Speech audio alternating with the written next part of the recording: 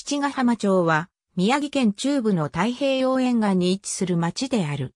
町域は日本三景の一つである松島の南部にあたる。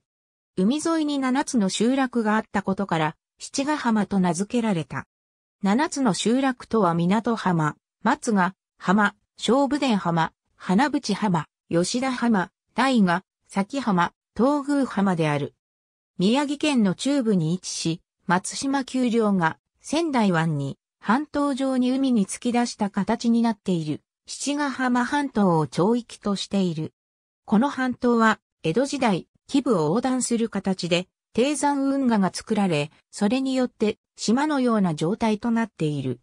山として韮山、また古城には阿川沼がある。七ヶ浜町は東北地方の市町村の中で最小の面積である。気候は比較的温暖で寒暖の差が少ない。キャッチフレーズは海、人、町七ヶ浜。隣接技自体は仙台市、多賀城市、塩釜市である。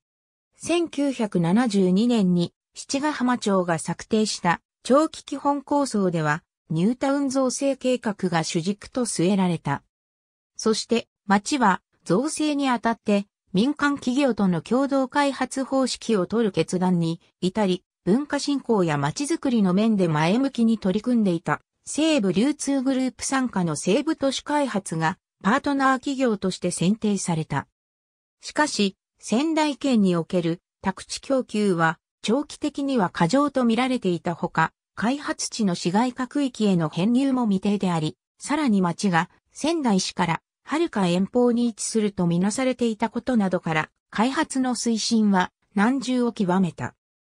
こうした事態を受け、西部都市開発は従来の宅地開発にはない新たな構想として、オランダの都市開発に採用されていたボンエルフを導入すること、さらに歩行者専用の緑道を設けること、加えて開発地区をなだらかな南面傾斜として植栽し、区域全体を公園とするなどのプランを提示した。これによって、1977年7月には市街化区域への編入も決定した。だが、ボンエルフ導入は既存の法体系と矛盾するため、翌年春には開発申請が止められた。しかしながら、西部都市開発担当者や、当時の赤間今尾町長が、宮城県や建設省に足しげく出向きボンエルフの必要性を説いたことが走行し、1978年12月には開発許可が下り、1979年5月着工。1980年9月には第1期販売が開始され、即日完売した。